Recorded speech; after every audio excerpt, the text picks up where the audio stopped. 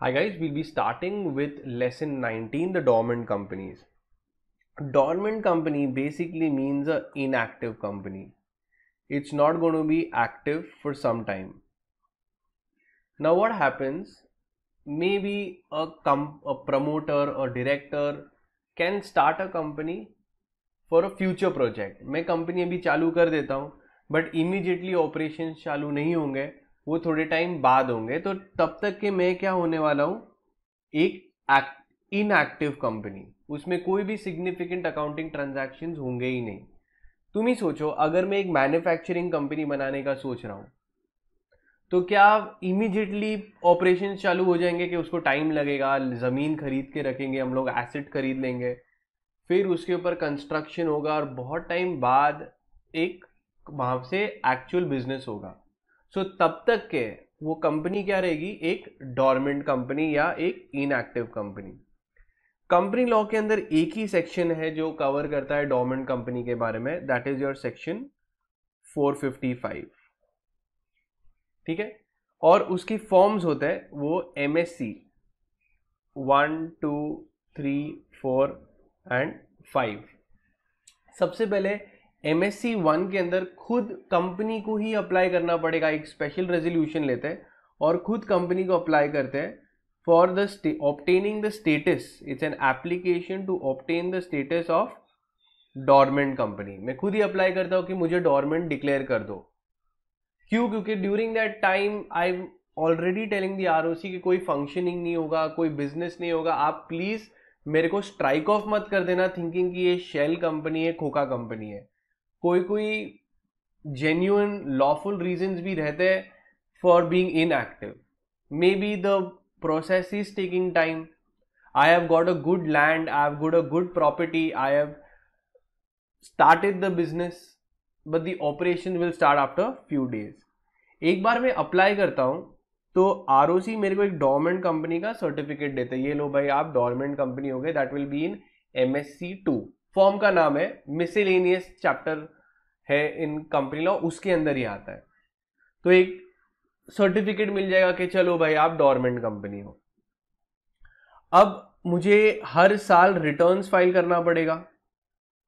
हर साल मेरे को रिटर्न्स फ़ाइल करना पड़ेगा कि मेरे फाइनेंशियल पोजीशन क्या है, कितने ट्रांजैक्शंस हुए तो at least R O C is coming to know that what's happening with the company now then after i'm all set to start my business operation, then again i'll make a application.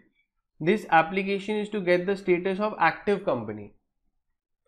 और एक बार मैंने apply कर दिया and R O C is satisfied then he will give me a status of a active company so सिर्फ़ एक short term के लिए मैं इनएक्टिव हूँ so let's understand and get deeper into this dormant company so dormant company means a company which is sleeping temporarily क्यों सो रहे क्योंकि फ्यूचर प्रोजेक्ट है, बाद में चालू करेंगे।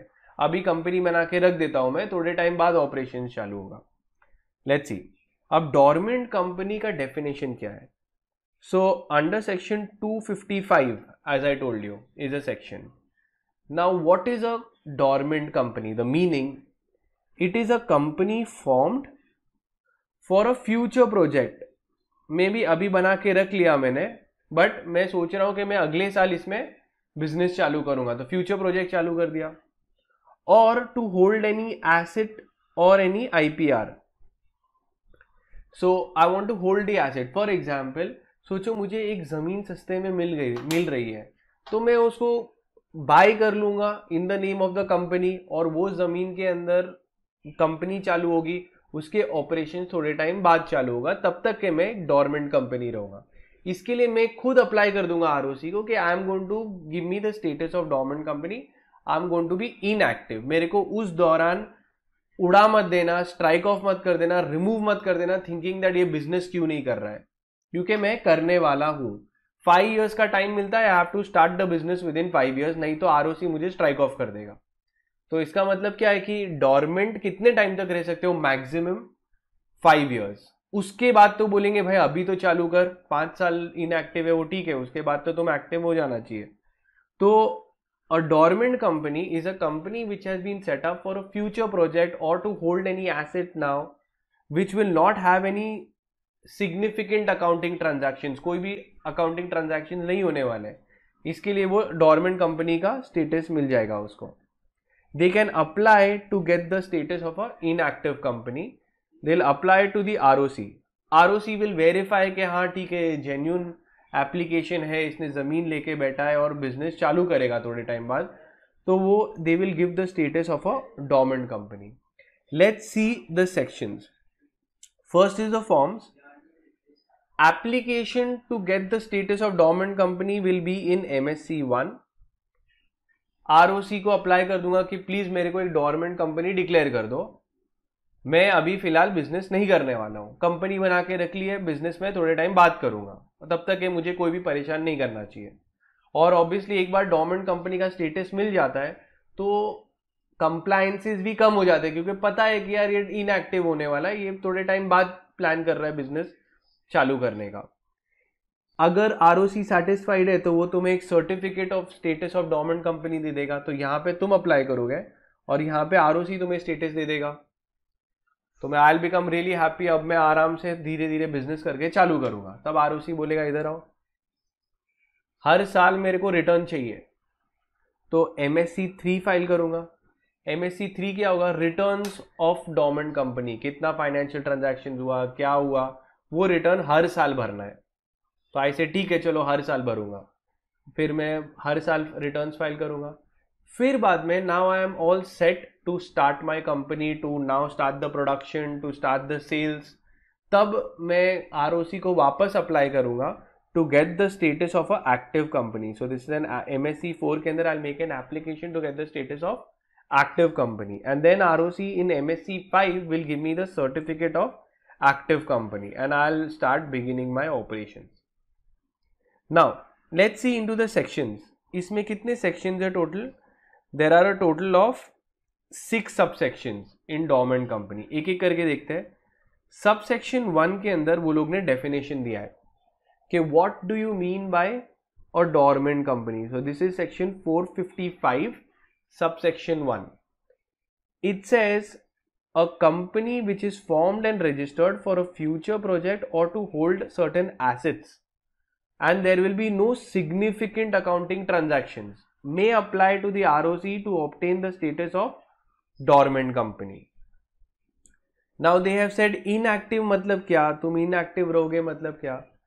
उस it has not been carrying on any business or does not have any significant accounting transaction during the last two financial years or has not filed financial statements during the last two financial years तो inactive company क्या होती है? जो पिछले दो साल तक annual return नहीं फ़ाइल करते, वो लोग कोई भी फाइनेंशियल स्टेटमेंट नहीं फ़ाइल कर रहे तो वो इनएक्टिव ही हो गई। और सिग्निफिकेंट अकाउंटिंग ट्रांजेक्शन मतलब क्या? It means any transaction other than those like paying fees to the registrar fulfilling the requirement under the act making allotment of share or just maintaining office ये सारे basic transaction है। It is normal accounting transaction इसके अलावा तुम जो भी करोगे will be called as a significant accounting transaction so all these transaction is not significant accounting transaction so what is a significant मतलब major other than these, you do anything will be called as a significant accounting transaction तो यहाँ पे definition दिया है। And in the definition they also defined what is a inactive company पिछले दो साल तक कुछ फाइलिंग नहीं करी है और significant accounting transaction now application dormant company के स्टेटस के लिए कौन अप्लाई करेगा? तो कंपनी खुद एक स्पेशल रेजोल्यूशन पास करेगी और वो लोग खुद आरओसी को फ़ाइल करेंगे कि भाई प्लीज़ आप हमको डॉर्मेंट कंपनी डिक्लेयर कर दो। Application will be made in M S C one and the certificate of dormant company will be issued in M S C two then they will say कि registrar एक return register maintain करेगा कितनी dormant companies हैं। Subsection four R O C classifies a company as dormant company in subsection two तुम खुद apply कर रहे थे डॉर्मेंट कंपनी के स्टेटस के लिए। सब सेक्शन फोर में क्या होता है? आर तुम्हें क्लासीफाई कर रहा है as a dormant company suo motu R O C realises कि तुम पिछले दो साल तक कुछ भी फाइलिंग नहीं कर रहे हो। So a company which has not filed financial statements और annual returns for two financial years consecutively R O C will issue a notice to them and declare such company to be dormant companies अब dormant companies को थोड़े compliances करने पड़ेंगे।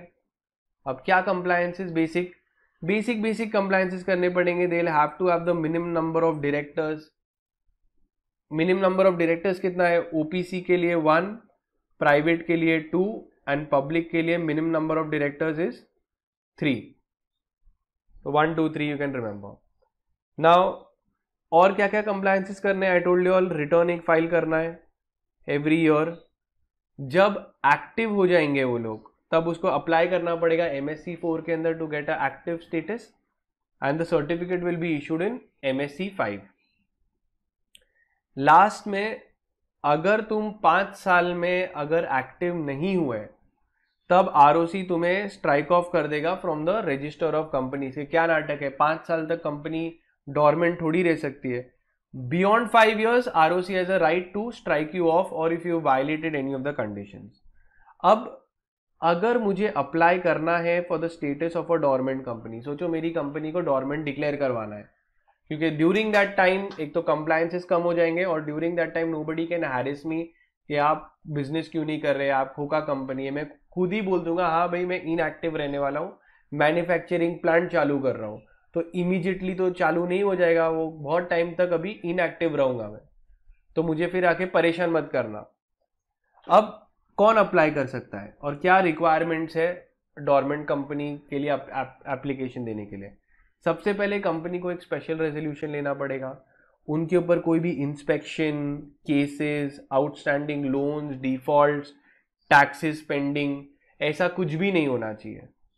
तो अगर कोई company जिसके ऊपर इंस्पेक्शन चालू है, या आउटस्टैंडिंग लोन्स बाकी है, या वो लोग डिफ़ॉल्ट कर रहे हैं, या केसेस बाकी है, या टैक्स आउटस्टैंडिंग बाकी है ऐसी कंपनी को हम लोग डिक्लेयर नहीं कर सकते एज डॉर्मेंट कंपनी और it should not be a listed company तो listed companies can not apply to for the status of dormant company इतनी बड़ी कंपनी कैसे डॉर्मेंट हो सकती है?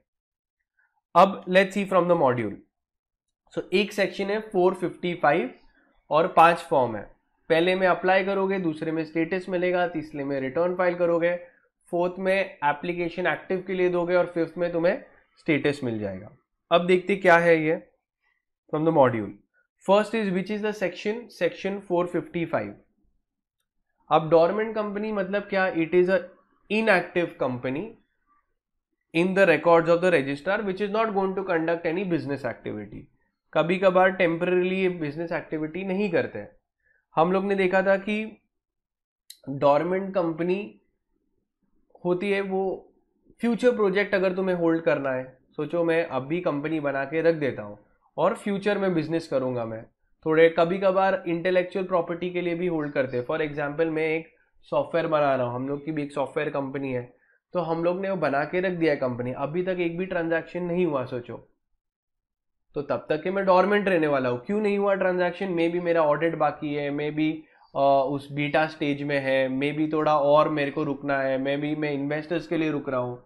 तो अभी तक मैं कुछ भी पिच नहीं कर रहा हूँ business reason I hold a I am having that company but the main operation will start after some time so I am going to be dormant for a certain रीज time what do you so subsection one क्या बोलता है? It defines what is a dormant company so dormant company is a company which is registered and form under the act to hold for a future project or to hold assets or intellectual property and has no significant accounting transaction.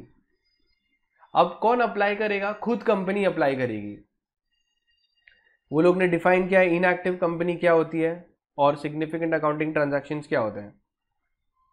Now obtaining the status of dormant company कैसे मिल सकता है dormant company या तो तुम खुद apply करो तुम अप्लाई करोगे एम एस सी वन के अंदर और तुम्हें सर्टिफिकेट मिलेगा एम एस सी टू के अंदर।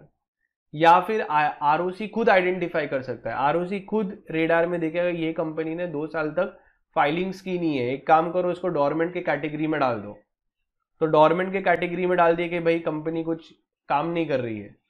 फिर हम लोग रुकेंगे और फिर बाद में डॉर्मेंट कंपनी एक्टिव नहीं हुई तो हम उसको आर ओ सी उसको रजिस्टर ऑफ़ कंपनीज़ में से निकाल देगा स्ट्राइक ऑफ़ कर देगा डिजोल्व कर देगा कंपनी ओके भाई जब काम कर रहे नहीं हो तो बना के क्यों रखे हो company next the registrar shall initiate the process of striking off if the company does not become active within a period of five years तो मैक्सिमम फाइव ईयर्स तक डॉर्मेंट रह सकते हो। या तो कंपनी खुद अप्लाई कर सकती है या आरओसी खुद तुम्हारा स्टेटस डॉर्मेंट का डिक्लेयर कर सकता है।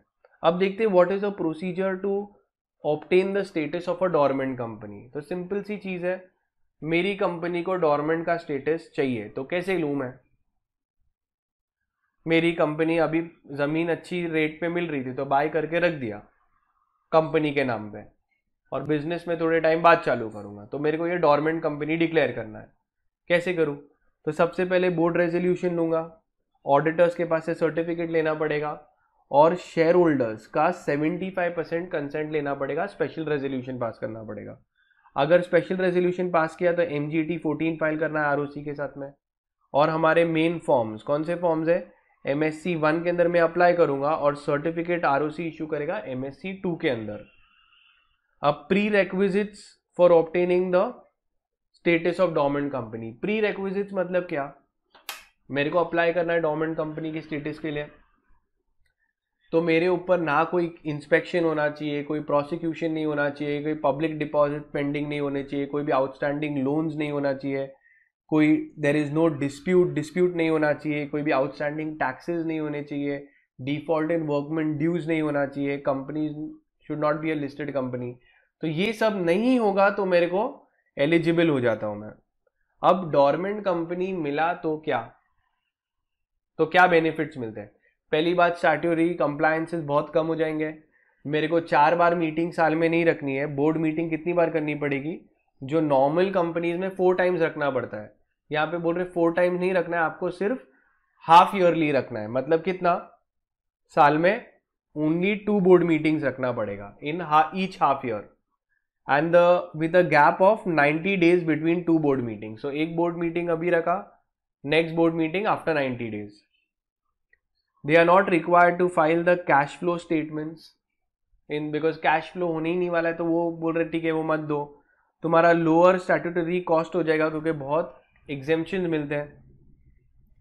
Dormant company can you can enjoy the status of dormant company for a period of maximum five years उसके बाद में एक्टिव होना ही है। Then you can hold intellectual property and assets तुम सोचो कि मेरे को कोई सॉफ्टवेयर खरीदना है। तो मैं कंपनी बना के कंपनी के नाम से सॉफ्टवेयर खरीद लेता हूँ। अभी रख लिया टू होल्ड एसेट अब मैं देखूँगा मेरे को फ्यूचर में कब इसको वापस बिज़नेस या ऑपरेशन चालू करना है। पर्सनल रीजन बिज़नेस रीजन हो सकते हैं। Compliances that they need to come follow तो क्या क्या कंप्लायंस एक गवर्नमेंट कंपनी को करना पड़ेगा? सबसे पहले जो मिनिमम नंबर ऑफ़ डायरेक्टर्स बोला है, वो तुमको मेंटेन करना पड़ेगा। पब्लिक के लिए तीन प्राइवेट के लिए दो डायरेक्टर्स ओपीसी के लिए एक डायरेक्टर होना ही चाहिए। नेक्स्ट उनको एनुअली एमएससी थ्री के अंदर रिटर्न फ़ाइल करना पड़ेगा। फिर they have to hold board meetings in each half year हम लोग ने देखा था। अब क्या होता है? An application for obtaining the status of active company अगर वापस एक्टिव करना है तो I told you all M S C four में अप्लाई करूँगा और सर्टिफिकेट मिलेगा एम एस सी फाइव के अंदर मिसेलेनियस अब ये कितने टाइम के अंदर? Before the end of five years you have to apply procedure to obtain the status of active company MSC four में अप्लाई करो एम एस सी फाइव में सर्टिफिकेट मिलेगा. And that is it so, only one important section is there, section 455 for dormant company and your important forms. You need to remember. That is msc 1 2 3 4 5 and that is it. We are done with the chapter. Hi guys, we'll be starting with lesson 20, striking off and restoration of name of company and LLP. Now, what do you mean by the term striking off? Striking off simply means removal of the name of the company and to cease its existence. Now, removal of this name can be done in two cases. When the company has become defunct, that it has become non-functional, and for those reasons, the registrar of companies will locate such companies which have stopped functioning, have stopped commencing business, are just shell companies. ऐसे ही पड़ी छोड़ दी है तो वैसी companies को रख के कोई फ़ायदा है क्या जो फ़ंक्शन ही नहीं कर रही है तो ऐसी कंपनीज़ को वो लोग स्ट्राइक ऑफ़ कर देते तो स्ट्राइक ऑफ़ का मतलब क्या होता है it is a removal of the name of the company from the register of companies now this entire striking off is covered under section 248. Now 248 subsection 1 and subsection 2. Now subsection 1 says कि ये ऐसी companies को कौन locate करेगा strike off कौन करेगा so R O C can suo moto locate such companies जो function करना बंद कर दी है और उनको एक लेटर देंगे first notice will be send to the registered office that according to the ROC, you are not functioning. If you all are active, kindly respond. The observe the reply will be received. Then the ROC will decide whether the company is functioning or no. And if the ROC finds that the company is defunct and non-operational, it will strike off the company. ये 248 subsection 1. So this is done by ROC. Subsection 2 talks when I myself apply to R कि आप मुझे उड़ा दो मैं function नहीं कर रहा हूँ अब क्या होता है why will a company themselves apply कि मुझे उड़ा दो? Let's see striking off off the name of the company by application made by the company only अब क्या होता है कि कभी कभार मैं रियलाइज़ करता हूँ कि मेरे बिज़नेस में अब वो स्कोप रहा नहीं। और मैं ROC को ही बोल रहा हूँ, आप प्लीज़ मेरी कंपनी को रजिस्टर की बुक से निकाल दो वाइंड अप कर दो मेरी कंपनी ठीक है? नाउ ये तुम खुद ही जाके अप्लाई करते हो। जब आरओसी डिसाइड करता है कि लोकेट करता है तुम्हारी कंपनी तो वो एक फॉर्म्स आते हैं इसके। S T K one S T K one is the form number जिसमें आरओसी एक एप्लीकेशन देगा कंपनी को कि भाई आप फ़ंक्शन कर रहे हो कि नहीं। और अगर वो नहीं फ़ंक्शन कर रही है तो उसको उड़ा देंगे। उसको रजिस्टर से बुक से निकाल देंगे। अब क्या होता है? कभी कभार मैं खुद रियलाइज़ करता हूँ कि मेरा बिज़नेस चल नहीं रहा है, मेरे को बिज़नेस अभी चलाना नहीं है, मैं खुद आरओसी को बोलता हूँ, आप मुझे उड़ा दो। So your form S T K two will be given S T K two अब कौन फ़ाइल करेगा? वो कंपनी खुद फ़ाइल करती है आरओसी के साथ में कि आप प्लीज़ मुझे उड़ा दो। ठीक है? Now tell me one thing company जब खुद बोलेगी तब हम लोग को टेंशन आता है कि ये कंपनी खुद क्यों बोल रही है कि उनको उड़ा दे तो ऐसे केस में हम लोग एफिडेविट ले लेते हैं इंडेमनिटी बॉन्ड ले लेते हैं डायरेक्टर्स के पास है वो देखेंगे क्या है now we'll see the two subsection that are given in company law So, first we are doing subsection 1.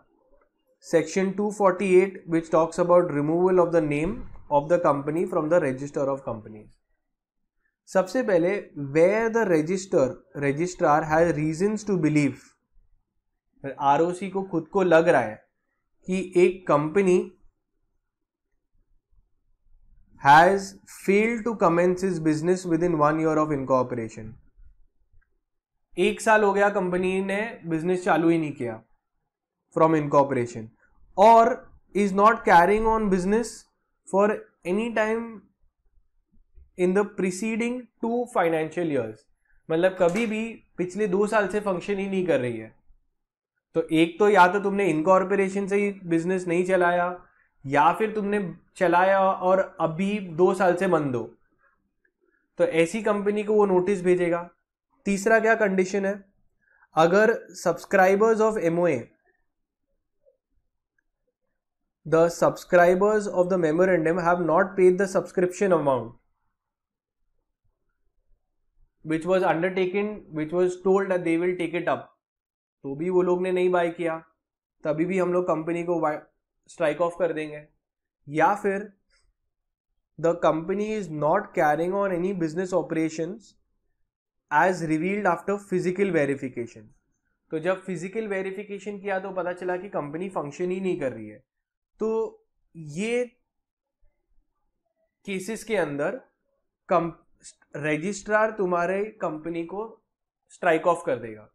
तो सबसे पहले क्या है? इनकॉर्पोरेशन से बिज़नेस कर ही नहीं कर नहीं रहे हो। सेकेंड तुम पिछले टू ईयर्स से बिज़नेस ही बंद कर दिया है, सोचो रिलायंस इंडस्ट्रीज़ या एक किंगफिशर एयरलाइंस पिछले बहुत साल हो गए उसको एग्जिस्टेंस से बट पिछले दो साल में वो फ़ंक्शन ही नहीं कर रहे। तो वैसी भी कंपनी को स्ट्राइक ऑफ़ कर सकते हैं। अगर तुमने सब्सक्रिप्शन अमाउंट ही नहीं पे किया है मेमोरेंडम जैसे कंपनी साइन होती है सब्सक्राइबर्स टू एमओ लिख के देते कि हम लोग इतना पे करेंगे। अगर वो नहीं पे किया तो कंपनी उसको स्ट्राइक ऑफ़ कर देगी। R O C will strike off such company और एक है फ़िज़िकल वेरिफिकेशन के बाद में पता चला कि कंपनी एक्चुअली फ़ंक्शन कर ही नहीं रही है। तो ऐसे केसेस के अंदर सबसेक्शन वन के अंदर आर तुम्हें स्ट्राइक ऑफ़ करने के स्टेप्स आगे बढ़ा लेगा। Now, let's see what are those steps. Now, we are seeing section 248 subsection 1.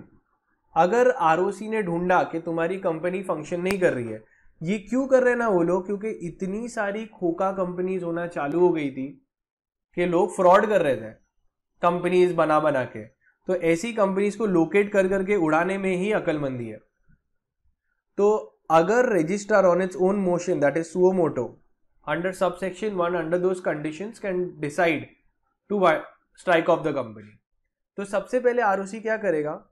Are company को एक लेटर देगा to the company and its directors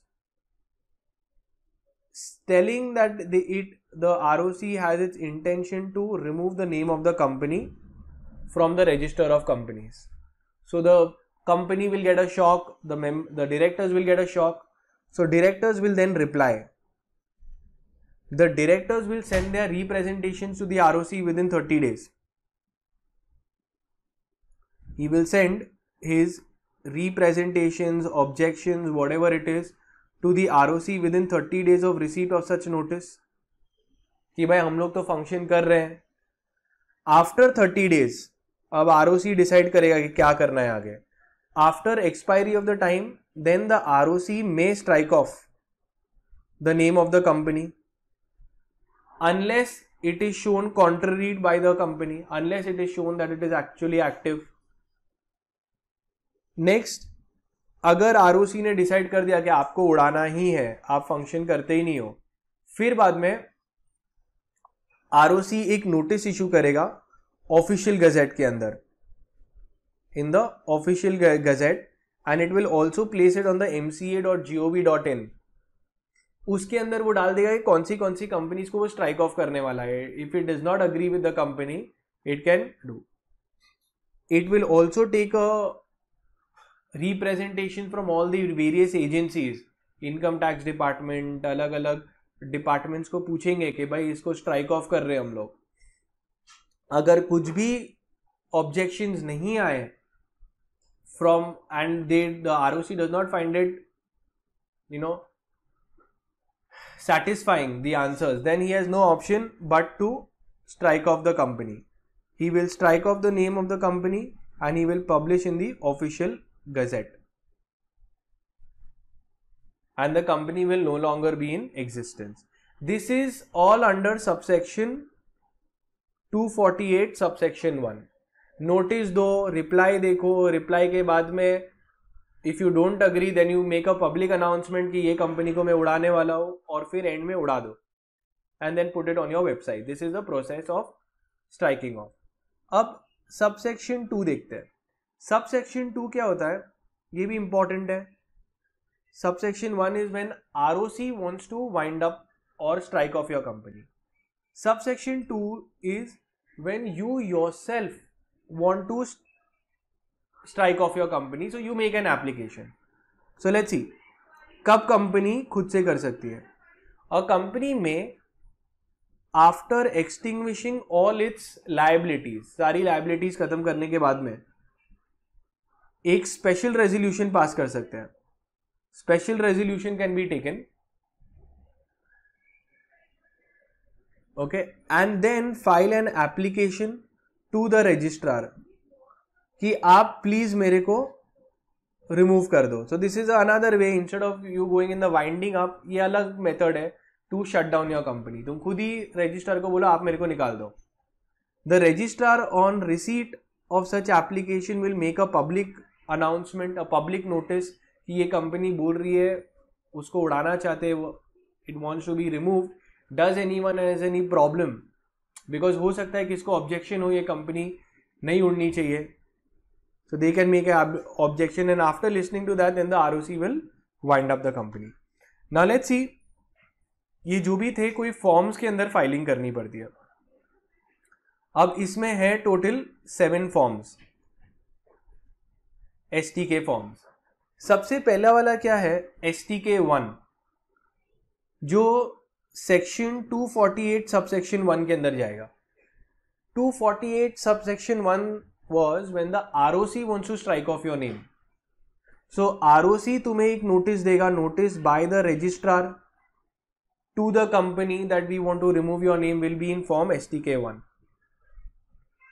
अब S T K two S T K two is when the company itself wants to apply कि आप please हमको strike off कर दो। So application of by company to the R O C for removing its name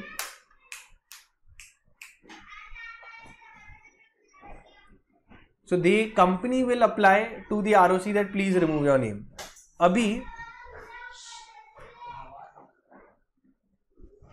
जैसे तुम apply करोगे company को। अब इसके साथ में दो फॉर्म चिपकाने पड़ेंगे। अटैचमेंट देना पड़ेगा। S T K three and S T K four S T K three क्या है? कि आरओसी डायरेक्टर्स को बोलेगा कि भाई आपको उड़ाना है ना कंपनी को, आप पहले मेरे को इंडेमनिटी बॉन्ड दो।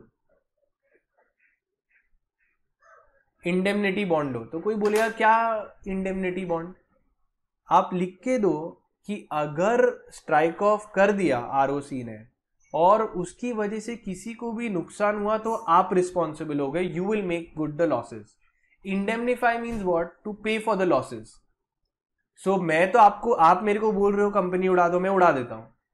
बट अगर फिर बाद में कोई कंप्लेन करके आया या कोई क्लेम किया तो आप भरोगे। तो डायरेक्टर्स के पास से हम लोग एक इंडेमनिटी बॉन्ड लेंगे एस टी के थ्री और एक और अटैचमेंट लेंगे, वो है एस टी के फोर एक एफिडेविट लेंगे हम लोग affidavit by the directors that everything they are staying is true and correct to the best of their knowledge तो एस टी के टू के साथ में S T K three and four देना पड़ेगा डायरेक्टर्स को। एक बार ये हो गया आर ने या तो नोटिस दिया या हम लोग ने ही अप्लाई किया with all of this now what will happen what will the R do ना R will make a public notice it will public announcement statement to the public that this company is going to be struck off does anyone have a problem किसी को problem है तो please reply to me please tell me I am going to strike off the company अब public advertisement public notice के ये form five and six है. अब five क्या है? ये वाला जो फॉर्म है. अगर सेक्शन 248 सब सेक्शन वन की बात है, जब आर तुम्हें नोटिस दे रहा है, ये सेक्शन के अंदर तो public notice will go in STK5. A public notice will be made. This is with respect to section 248 subsection 1. अगर कंपनी अप्लाई कर रही है, कि यार आप मुझे उड़ाओ सेक्शन 248 सबसेक्शन 2 के अंदर तो notice will go in S T K six अब ये देखोगे, यहाँ से ये वाला हुआ तो S T K six file होगा। It's a public notice only but public notice under section 248 subsection two okay अब फाइव एंड फाइव ए क्या है? एक इंग्लिश के अंदर और एक रीजनल लैंग्वेजेस के लिए ओके okay, तो फॉर्म फाइव ही बोलेंगे एस टी के फाइव और लास्ट में after all this filings has been done objection has been taken then the R O C will be satisfied कि यार सब कुछ हो गया है। Now I it's time to remove the company and dissolve it and and the life of the company so so that will be done in form stk7 a notice of striking off and dissolution मतलब company अभी S T K seven जैसे file किया तो वो company अभी existence में नहीं रहेगी। तो this will be S T K seven so S T K one में आर ओ सी रजिस्टर देगा और फाइव एंड फाइव ए के अंदर पब्लिक नोटिस होगा। अगर तुम अप्लाई कर रहे हो after taking a special resolution तो two three four and six apply होगा। और सेवन के अंदर एप्लीकेशन देकर डिजोल्व हो जाएगा। ना let's see, we'll do from the module and finish it off. So, first is with respect to striking off, it is your section 248 एक ही सेक्शन है जो इंपॉर्टेंट है, जो तुमको याद रखना है 248 अब आता है वेज ऑफ़ स्ट्राइकिंग ऑफ़ कैसे स्ट्राइक ऑफ़ कर सकते हैं? या तो रजिस्ट्रार स्ट्राइक ऑफ़ कर सकता है, या फिर कंपनी खुद अप्लाई कर सकती है कि आप मुझे स्ट्राइक ऑफ़ कर दो। Registrar suo motu under which section he can do under section 248 subsection one and company जब अप्लाई करेगी टू आरओसी के, आप प्लीज़ मुझे उड़ा दो। वो कंपनी ही खुद प्रोवोक कर रही है रजिस्ट्रार को। This will be in 248 subsection two अब देखते आगे।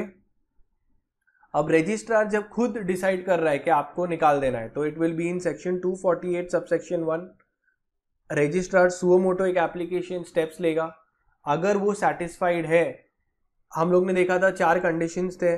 तुमने कमेंट्स नहीं किया within one year of incorporation या फिर you are not carrying on business for a period of two years immediately preceding the financial year और the subscribers have not paid the subscription amount and the last one is if on physical verification it was found that you were not commencing any business so then a form stk1 will be filed seeking notice कि आप क्या existence are you functioning और no a inquiry will be made अब ये case law था international securities printers private limited versus ROC इसके अंदर क्या था कि आरओसी ने जो रिक्वायरमेंट था of sending the notice notice ही नहीं भेजा. Notice was not issued by the R O C to the company और उसने स्ट्राइक ऑफ़ कर दिया. तुम मुझे बोलो कि वैलिड है क्या आरओसी का ये स्टेप नोटिस ही नहीं दिया. एस टी के वन जो है रिक्वायरमेंट पहले पूछो उनको. वो इंक्वायरी ही नहीं की और ऐसे ही स्ट्राइक ऑफ़ कर दिया. Is the striking off valid so then they said that the R O C has fail to prove that proper steps were taken which are a prerequisite for striking off striking off करने के लिए वो notice देना बहुत जरूरी है and therefore the striking off of that company was wrong and the company was reinstated and the company was put given back it was restored the name they said that such a thing what the ROC did was arbitrary illegal and against the principle of natural justice and the petition was accepted so procedure क्या है जो ROC को follow करना है तो सबसे पहले notice देना पड़ेगा उसको नोटिस के रिप्लाई के लिए रुकना पड़ेगा तीस दिन का टाइम है उसको कंसिडरेशन देखना पड़ेगा क्या बोल रही है company he will make a publication of the notice he will intimate the authorities like income tax department के मैं कंपनी को उड़ा रहा हूँ। He will strike off the name of the company okay he will कुछ उसके dues views होंगे तो उसको क्लियर कर देंगे। एंड और notice will be given of dissolution and it will be dissolve let's see. You will serve a notice. Notice will be in stk1 अब reply करेगी। On receipt of such a notice all the directors of the company are required to send their representation explaining why the name of the company should not be removed उस consideration को सुनेगी R O C will consider the representation and the application given फिर बाद में एक publication करेंगे वो S T K five के अंदर हम लोग ने देखा था in five A then intimation to all the regulatory authorities then the striking off and the removal of the name will be done कुछ पैसा अगर रियलाइज़ करना है तो रियलाइज़ कर देंगे। The registrar before passing an order for striking off should satisfy the sufficient provision are been made for realisation of all the amount due to the company for repayment of its liability सारी liabilities pay off हो जानी चाहिए। And then a notice of dissolution will be given in S T K seven आगे देखते हैं। We are talking of section 248 subsection 2 now 248 subsection 2 क्या बोल रहा है कि कंपनी खुद ही अप्लाई करिए कि मुझे उड़ा दो? सो so, पहली बात कौन सी टाइप की कंपनीज़ नहीं अप्लाई कर सकती है under this listed company section eight company जिसका कोई लोन पेंडिंग है जिसके ऊपर कोई कंपाउंडिंग एप्लीकेशन है कि इसके ऊपर कोई पर्टिकुलर केस चालू है ऑफेंस हुआ है vanishing companies vanishing companies are listed companies जो अभी उसके प्रमोटर्स भाग गए, वो सारे कंपनीज़ इसे खुद से नहीं अप्लाई कर सकते, जो अभी डी लिस्ट हो चुकी है, जिसके ऊपर कुछ इंस्पेक्शन चालू है all of these companies can not apply suo motu अब इसका भी ग्राउंड क्या है, वो लोग कब अप्लाई कर सकते हैं? So the company through its board of directors can file an application for removal of the name same condition business ये लोग ने भी कमेंट्स नहीं किया. ये लोग भी पिछले दो साल तक कंपनी बंद है, जो सब्सक्राइबर्स ने अभी तक पैसे ही नहीं दिए। या फोर्थ वाला फ़िज़िकल वेरिफिकेशन में पता चला कि कंपनी फ़ंक्शन नहीं कर रही है। Okay now procedure now procedure में we seen the form numbers तो सिंपल सी बात है प्रोसीजर हम लोग ले रहे हैं जब कंपनी खुद अप्लाई कर रही है। तो कंपनी को पहले एक बोर्ड रेजोल्यूशन लेना पड़ेगा। बोर्ड रेजोल्यूशन के अंदर ऑब्वियसली एक फॉर्म फिल करना पड़ेगा, जिसका नाम है एस टी के टू वो एस टी के टू के साथ में तुमको दो अटैचमेंट्स देने पड़ेंगे। एक है indemnity bond in S T K three and affidavit in S T K four अब ये एस टी के थ्री क्या है? और directors will give a indemnity that if there is any loss problem any kind of damages I will pay for it if it is due to this striking off तो R को assurance दे रहे फिकर मत करो, आप कर दो स्ट्राइक ऑफ़ कुछ भी प्रॉब्लम रहेगा तो मेरी मैं उसकी लाइबिलिटी उठा रहा हूँ। Then the R O C also would in mind tracking of the company then the company should file a special resolution special resolution file हुआ तो M G T fourteen file करना पड़ेगा। ठीक है? सो दैट इज़ डन तो S T K two के साथ में एनओसी लेना पड़ेगा अप्रोप्रिएट अथॉरिटीज की।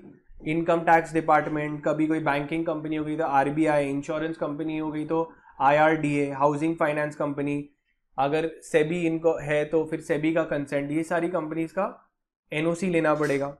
Indemnity in S T K three affidavit in S T K four so all of this will have to be taken then a public notice will be made by the roc in stk 6 inviting any objections? R O C will say अच्छा ठीक है, आपने तो बोल दिया, आपको strike of होना है। मैं दूसरों को पूछता हूँ, एक पब्लिकेशन होगा नोटिस के अंदर and they will see if no objection has been receive within thirty days तीस दिन में किसी ने भी कुछ बोला नहीं है तो R O C can proceed ahead to wind up the company और एक बार डिसाइड कर दिया वाइंड अप में so then form S T K seven will be made और notice of striking off Of the name of the company from the register of company and its resolution should be published in the official gazette in STK 7 and the company will then stand dissolved. Okay. Now हम लोग ने देखा था कि no objection certificate has to be receive from all the appropriate authorities like R B I and insurance company अगर हुई housing finance company Etcetera collective investment scheme होगी तो SEBI. Now coming to the status of a striking off company अगर एक company strike of हो गई तो उसके क्या इफेक्ट्स होंगे? Obviously it will cease to have effect so उसका जो सर्टिफिकेट ऑफ़ इनकॉपरेशन भी है it is deem that it will be cancelled so the company stand dissolve and it shall be deem that the certificate of incorporation also has been cancelled. So it's a pretty sad thing. Next, what if we found out that the application made by the company was fraudulent? They wanted to evade the creditors, they wanted to hide, they wanted to do something wrong.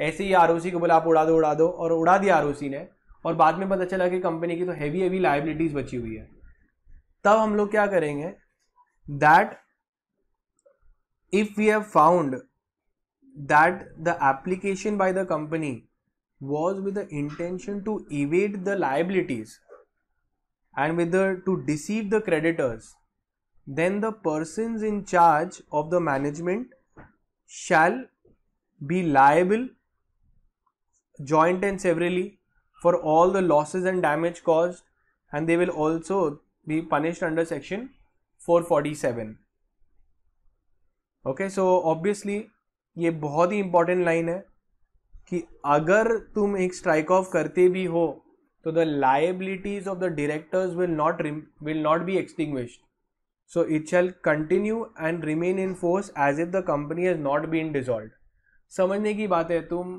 Company dissolve कर रहे हो तो किसी का पैसा बाकी है तो तुम्हारी तो हमेशा लाइबिलिटी रहने वाली है। तुम खाली कंपनी बंद करके उसको इवेट नहीं कर सकते हो फ्रॉड्यूलेंटली तो अगर आरओसी ने स्ट्राइक ऑफ़ भी किया तो तुमको एक अंडरटेकिंग देना पड़ता है कि अगर इंडेमनिटी या अगर कुछ भी किसकी भी लाइबिलिटी आई है कंपनी रिलेटेड तो तुम उसको बेयर करोगे। So it shall continue and be enforced as if the company was not dissolve S T K forms देखे थे हम लोग ने। एस टी के वन के अंदर नोटिस देंगे और फिर पब्लिक नोटिस फाइव के एंड फाइव ए के अंदर जाएगा। Five A will be in English then two three 4 was about when you make an application with indemnity and affidavits as attachment उसका नोटिस जाएगा and the striking off will be in S T K seven now restoration of the name of the company what if R ने strike off कर दिया company को तीस दिन का time दिया था what if the directors were out of the country were not able to reply for any reason And the R C letter on found किया मैंने गलती कर दिया स्ट्राइक ऑफ़ नहीं करना चाहिए था, ये तो एक्टिव कंपनी है। या directors are unhappy with the striking off so what will happen तो यहाँ पे वो लोग ऑब्वियसली एक ही है अपना एनसीएलटी एनसीएलटी के पास में जाओ और उनको बोलो कि भाई मुझे स्ट्राइक ऑफ़ कर दिया, मैं, हम तो एक्टिव कंपनी है, आप please restoration of the name कर दो। So let's see restoration of the name after striking off. So the registrar can suo moto after issuing a notice can also apply for restoration of the name. So it may happen that they have inadvertently by mistake removed the name. So if anyone is unhappy, they can apply to the NCLT within three years. So any person aggrieved by the order of the ROC may file an appeal before the tribunal within three years. So three years of striking off or passing that order, they can go to the tribunal and if the tribunal was of the opinion that the name of the company that should not have the company should not have been struck off then it will pass an order for restoration of the name of the company after giving a reasonable opportunity of being heard to the ROC and all the persons connected. तो NCLT revive कर सकती है company को live दे सकती है। ROC खुद भी अपनी गलती रियलाइज़ कर सकता है तीन साल के अंदर और वो रिस्टोर कर सकता है कि यार कंपनी को वापस रिस्टोर कर सकता है। ना ये इंटरेस्टिंग है even the ROC can realise that he made a mistake so ROC applies from the date of passing the order if it is satisfied that the name of the company has been struck off either inadvertently by mistake or on basis of incorrect information उसके पास में जो information था वो incorrect था तो वो apply करेगा द ट्राइब्यूनल के पास में पावर है आर और कंपनी कब अप्लाई कर सकती है तीन तीन साल के अंदर अप्लाई कर सकती है बट अगर ट्राइब्यूनल चाहे तो वो लोग और भी टाइम के अंदर एक्सेप्ट कर सकते हैं। ट्राइब्यूनल के पास कितना टाइम है? Twenty years from the date of publication in the official gazette so you have a right to apply within three years but if tribunal wants they can any time for even after three years they can restore the name उनके पास में twenty years का time है। So the tribunal on application made by the company before expiry of 20 years can restore the name of the company if it is satisfied that the company was at the time of striking of carrying on business or otherwise it is just that the name of the company be restored तब वो they will make an order for restoration of the name of the company और ये भी बहुत important है एक बार registrar ने रिस्टोरेशन का ऑर्डर दे दिया तो इसका इफ़ेक्ट क्या होगा it shall be deemed that the company has never been struck off. So the tribunal may also pass an order deeming that just for placing of the company and all the other persons in the same position as the company would have not been struck off. So the effect of the order of restoration of NCLT will be such that that the persons will be in the same position as if the company had never been struck off. That is the effect. अब हम लोग striking off of limited liability partnership भी देखते हैं so will see just the limited liability partnerships का striking off provisions so firstly just like section 248 we saw in the llp act read with the llp act llp rules section 75 read with rule 37 is important इसमें ministry of corporate affairs ने power दिया है L L P को भी that it can be struck off by the registrar so yeah they have to fill form twenty four let's see first is there are two provision two points ये सब दिया हुआ है section seventy five के अंदर। Seventy five के अंदर first part क्या है? अगर खुद पार्टनर्स को लग रहा है कि वो लोग फ़ंक्शन नहीं कर रहे पिछले एक साल से या उससे ज़्यादा then all the partners will make an application in form twenty four that to the register that please strike us strike the company next is if the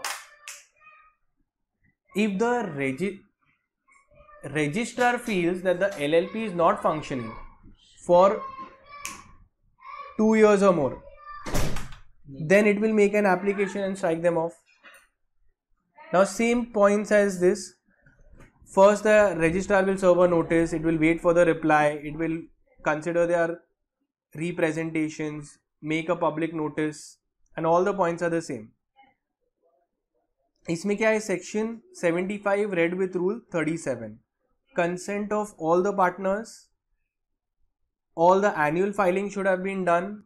You have to take approval of the concerned authorities make a affidavit and the indemnity. You have to fill form 24 publication of the notice strike off and then realization of the dues. Now very important that liabilities of the partners will continue as if the llp has not been dissolved if they want to restore the name of the LLP after being struck off, then LLP Act does not provide any uh, any relief. You will have to apply to the High Court under the writ petition to restore the name of the LLP. That is it, and then we are done with the chapter.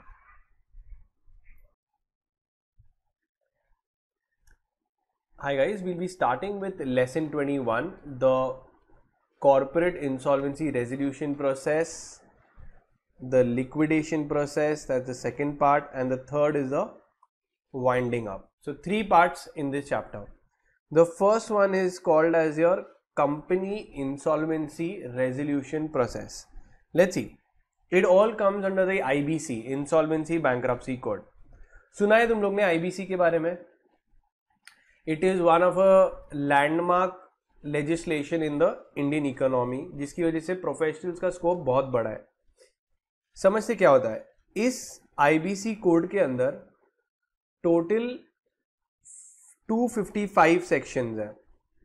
Okay and five parts अब ये five parts में से जब भी insolvency होती है, तब part two deals with insolvency of corporates this is what is important for us rest part 3 deals with individuals part 4 is about authorities and part 5 is miscellaneous provisions the most for an important from a company secretary point of view is part 2 so insolvency bankruptcy code part 2 deals with insolvency of corporates और कौन से कौन से section है इसमें section four to section 77 समझते हैं?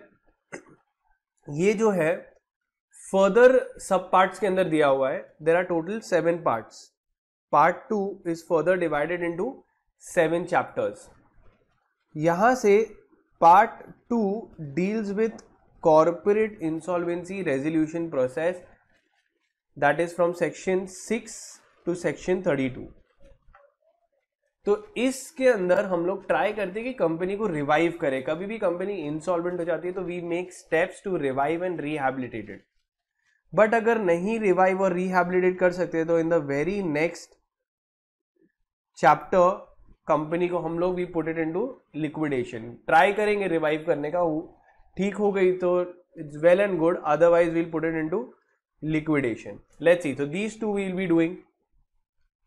First, what is the corporate insolvency resolution process C I R P simply meaning company का इंसॉल्वेंसी क्या मुझे तुम लोग अनम्यूट करके बोल सकते हो कि कंपनी की इंसॉल्वेंसी कौन सी कोर्ट में जाती होगी?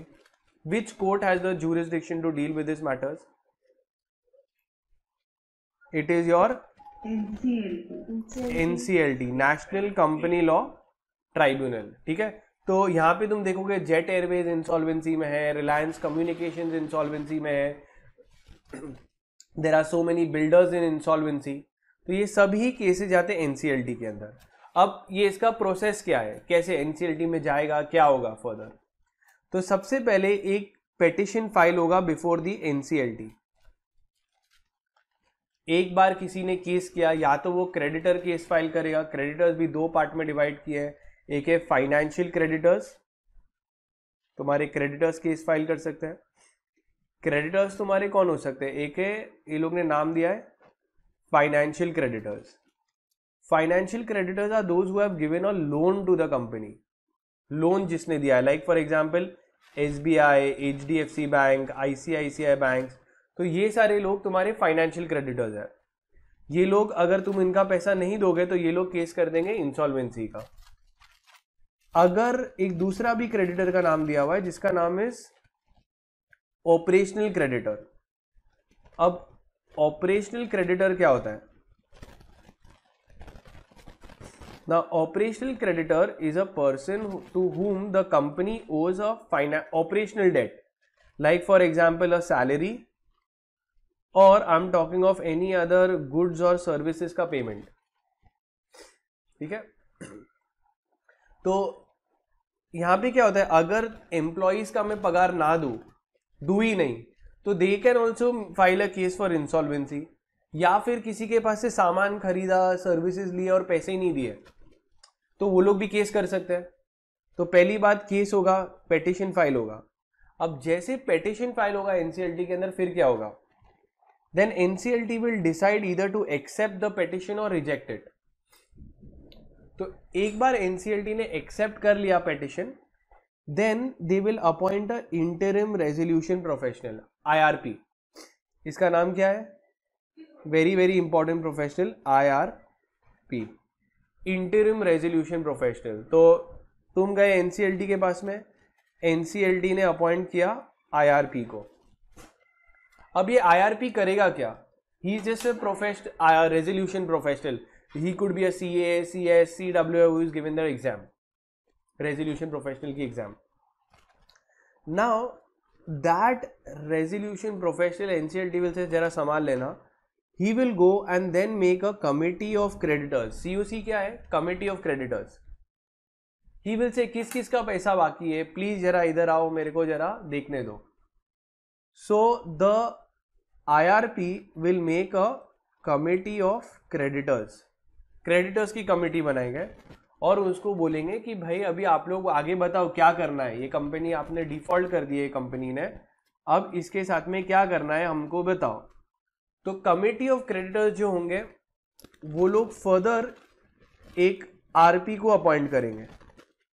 अब रेजोल्यूशन आईआरपी जो था, वो इंटरिम बेसिस के लिए था।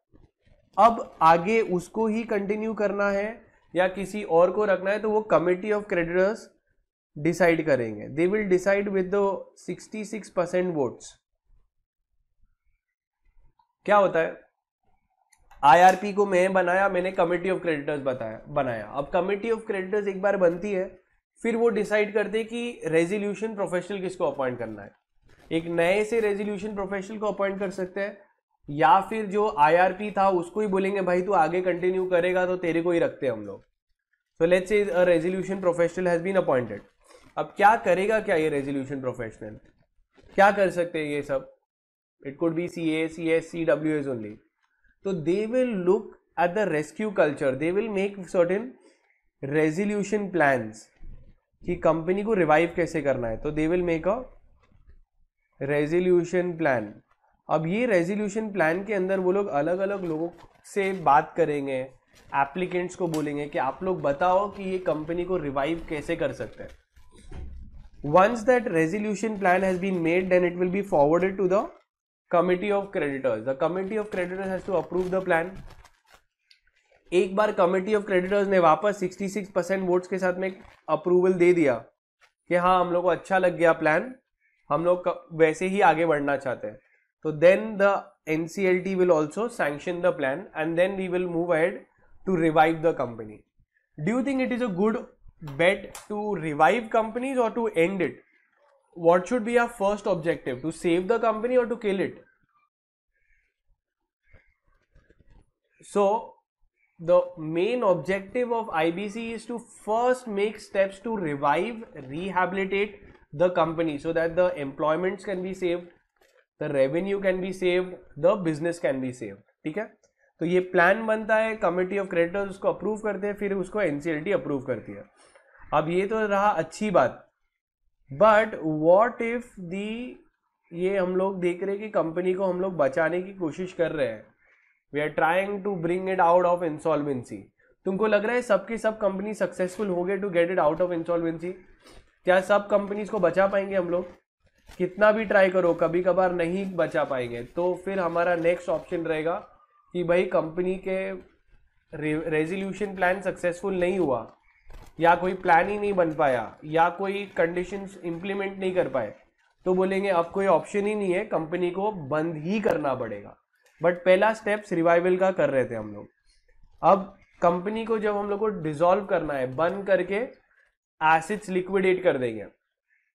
सो so, कंपनी के लिक्विडेशन के लिए तो मुझे बता सकते हो किसको अपॉइंट करेंगे जो कंपनी का लिक्विडेशन करेगा। अब हम लोग ने सोच लिया कि कंपनी को बचा नहीं सकते डुबाना ही पड़ेगा उसके एसिड्स बेच के पैसे रियलाइज़ करके सब में बांटना पड़ेगा जिसको जितना मिला उतना। अब किसको अपॉइंट करेंगे? Who will do the process of selling the company and everything C S so they are actually the liquidators of the company the technical term is liquidators तो लिक्विडेटर को अपॉइंट करेंगे। Generally liquidators are company secretaries only where they come in and they will start selling of the asset तो सोचो ये liquidator को बुलाया तुमने कि भाई आ जाओ इधर।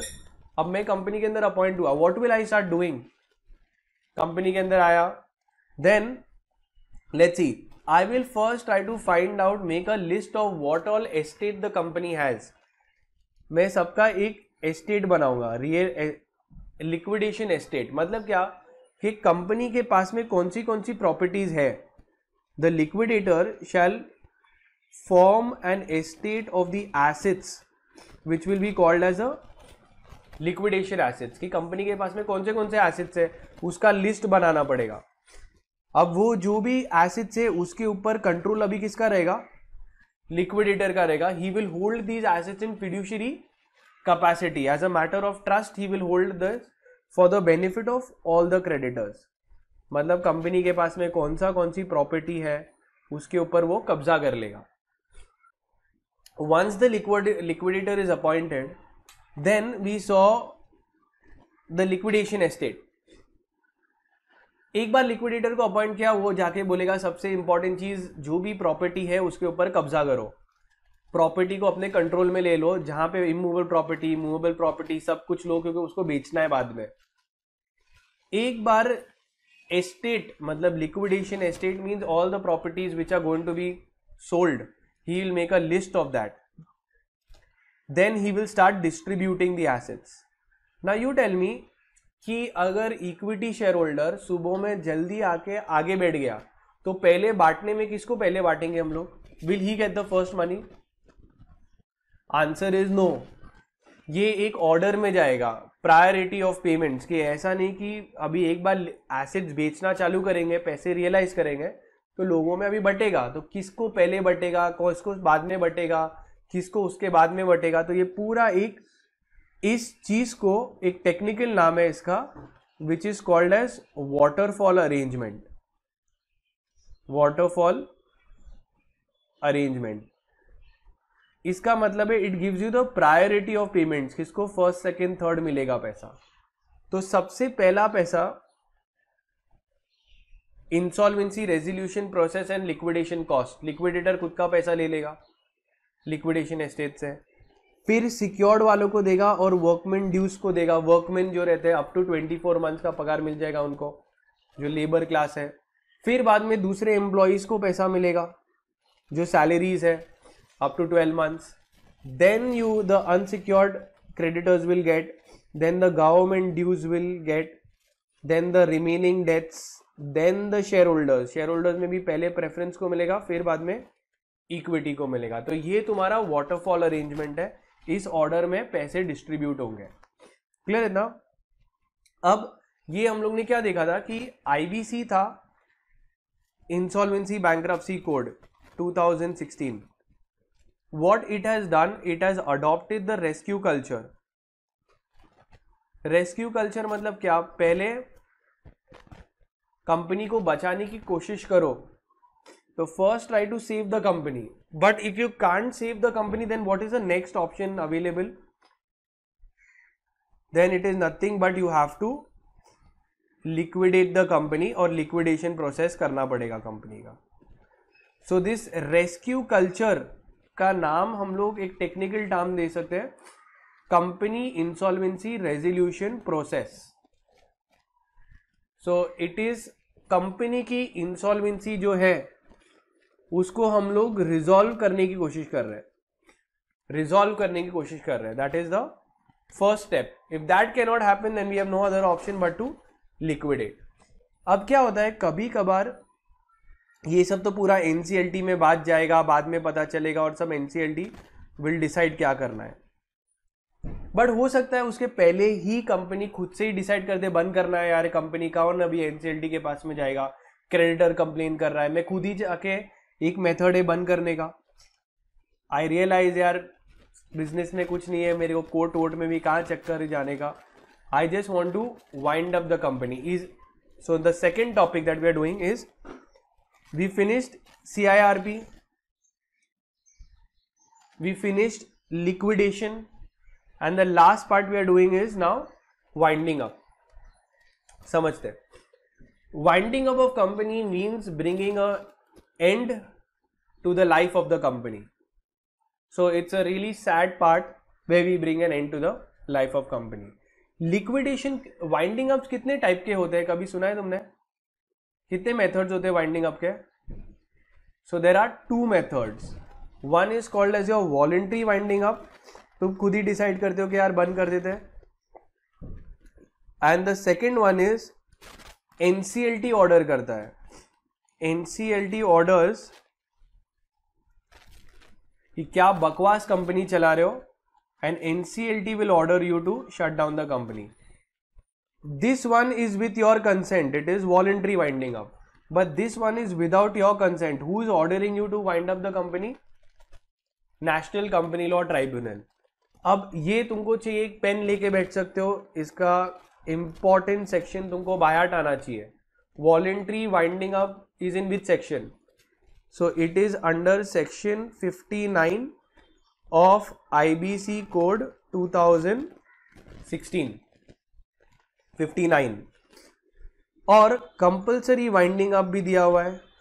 Compulsory winding up is given under section 271 of companies act 2013 clear है ना? तो ये दो इंपॉर्टेंट है, तुम्हें पता होना ही चाहिए द सेक्शन के साथ। These are the key sections for these things ना लेट सी पहले कौन सा करते हैं? You want to do first voluntary winding up और कंपल्सरी वाइंडिंग अप तो obviously let see which one will be doing हम लोग कर रहे हैं अभी compulsory winding up this is your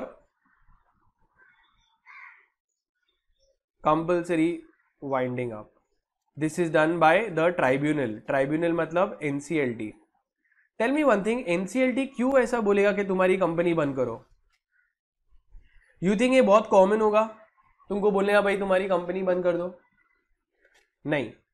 तो the ground for ordering compulsory winding up is given under section 271 सबसे पहले, अगर कंपनी ने खुद ने एक स्पेशल रेजोल्यूशन पास किया और खुद एनसीएलटी को इंस्टिकेट कर रहे आप हमको बंद कर दो। तो भी से ठीक है एनसीएलटी को तुम खुद ही जाके पिन मार रहे हो और बोल रहे हो कि हमको वाइंड अप कर दो। Then NCLT will move ahead with winding up that company now why would you do that कभी कभार तुमको कंपनी बंद करनी है, ठीक है? But the share holders feel that बंद करते करते कुछ फ्रॉड हो जाएगा, गड़बड़ हो जाएगा। So we want the NCLT to supervise the winding up process. So you pass a special resolution and you go to NCLT and you tell NCLT please आप बंद करो और आप लिक्विडेटर अपॉइंट करो आप सुपरवाइज करो आप डिस्ट्रीब्यूट करो नहीं तो हमको गड़बड़ लग रहा है सो दे विल से ठीक है NCLT will then order winding up once the members only apply to NCLT.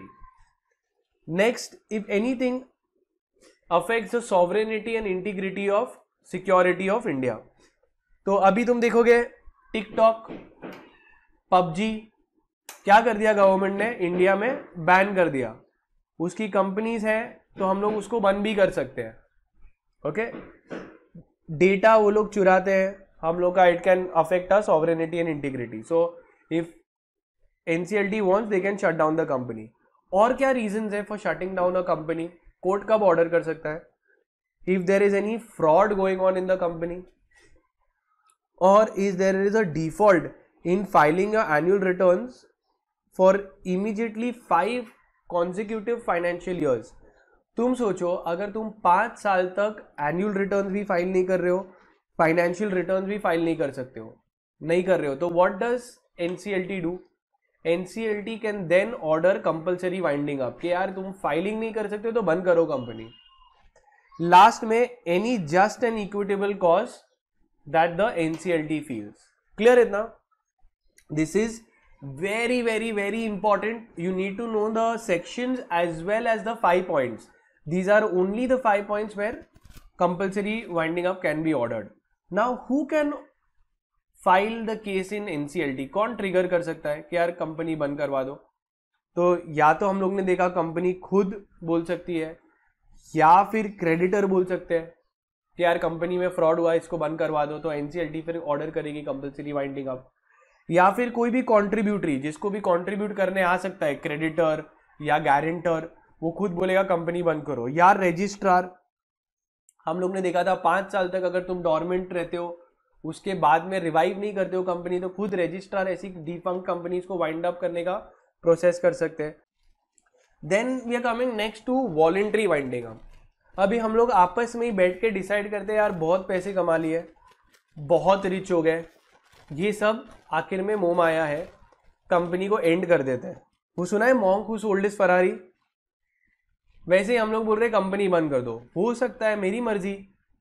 मैं या तो company I have no future inclination I want to shut down the company और I might have realise that the company has no scope और is making losses so I can voluntarily end my company अब क्या procedure है इसका?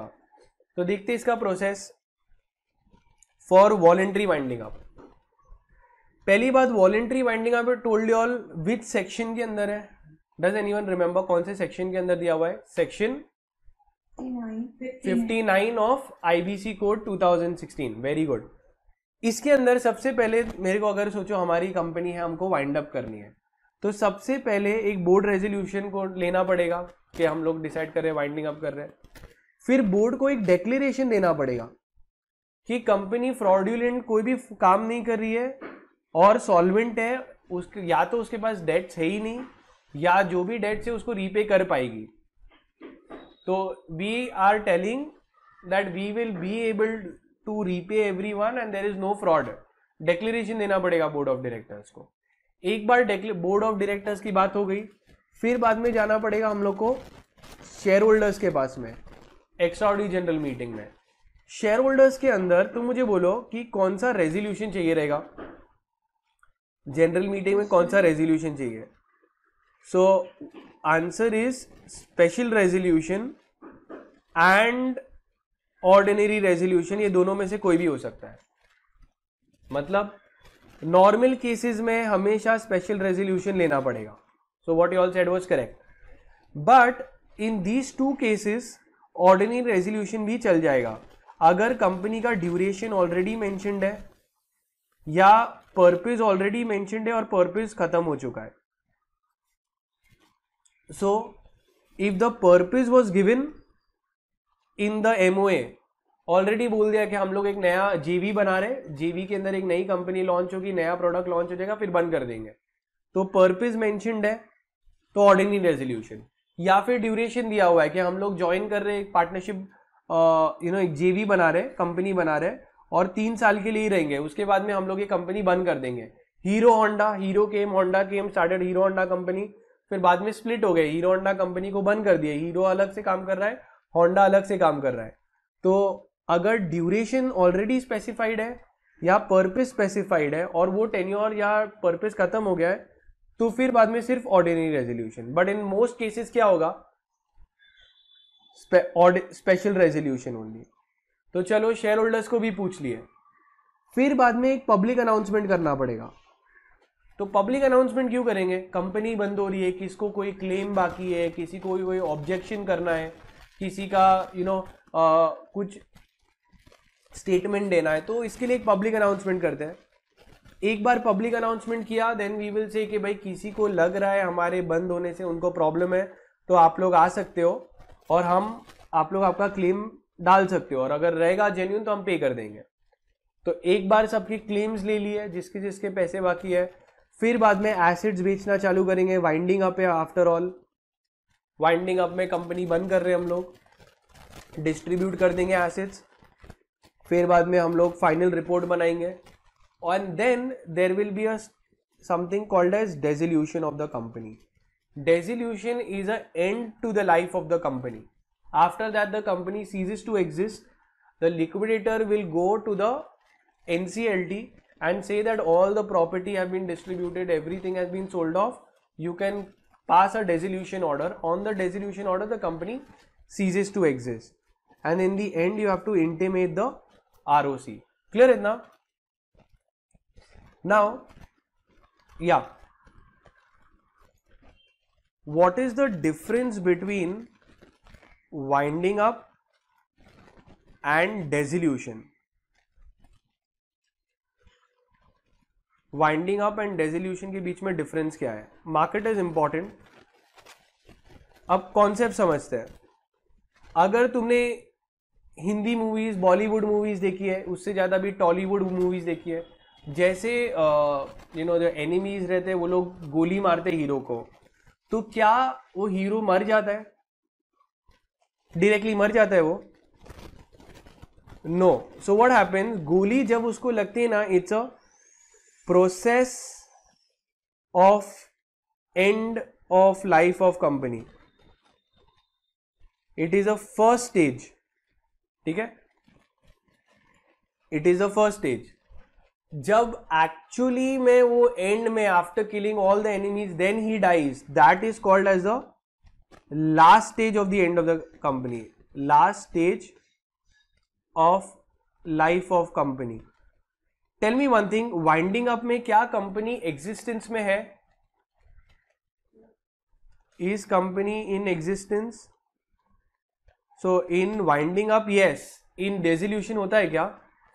नहीं. Dissolution में वो company ceases to exist next winding up process कौन करता है?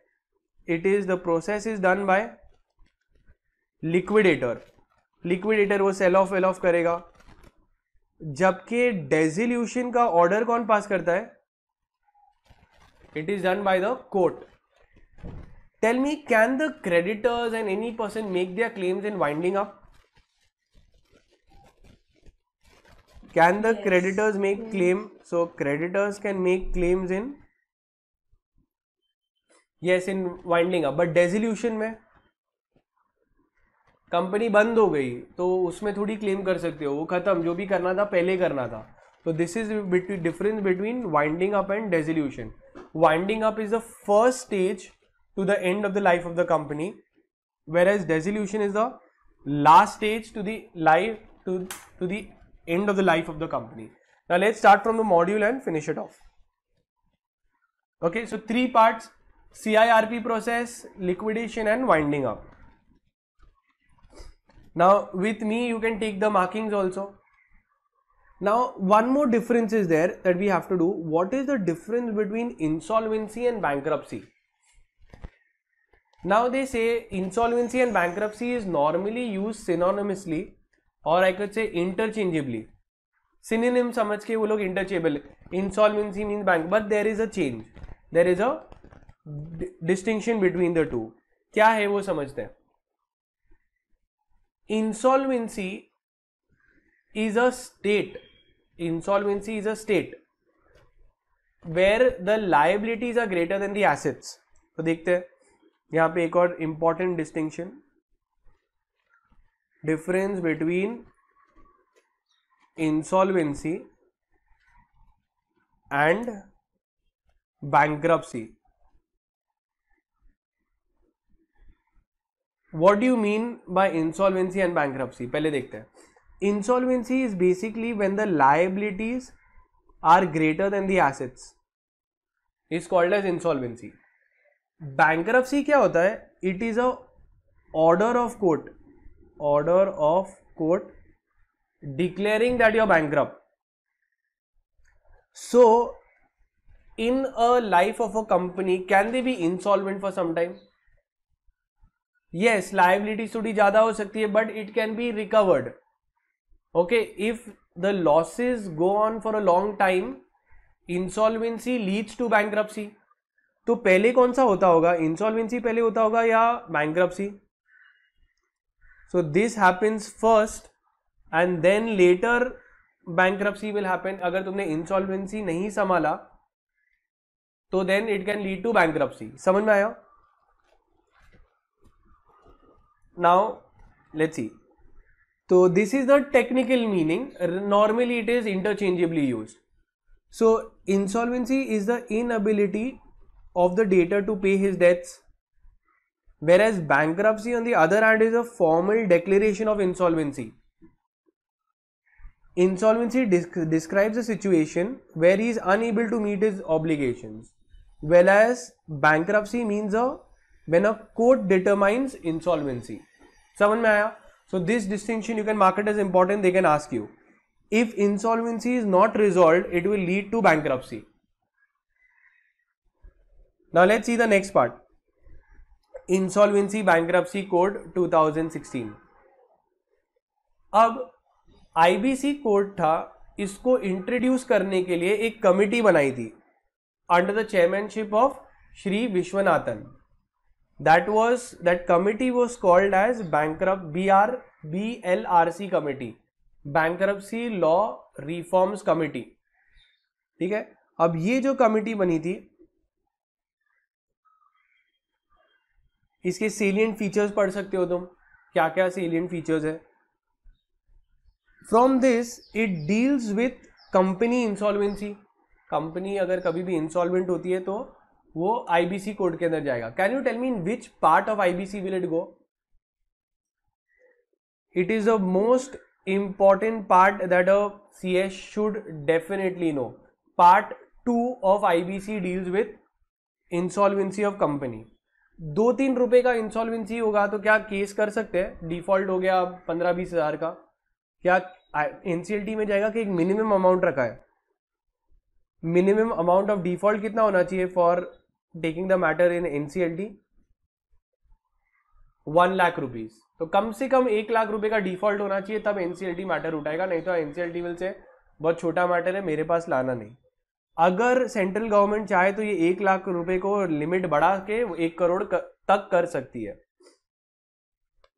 अब डेफिनेशन में इंपॉर्टेंट डेफिनेशन तुम खाली एक फाइनेंशियल डेट को मार्क कर सकते हो important financial debt is like a loan given money borrowed against payment of interest